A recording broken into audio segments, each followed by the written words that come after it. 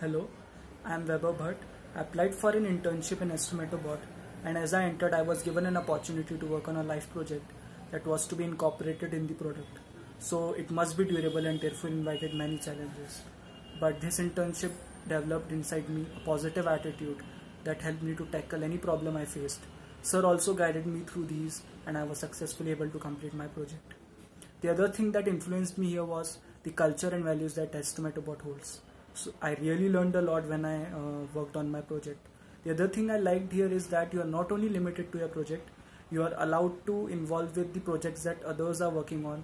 That helps you to uh, learn and uh, experiment more.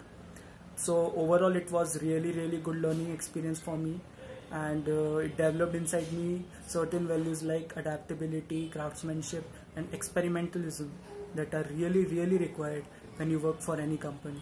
So thank you, StomatoBot.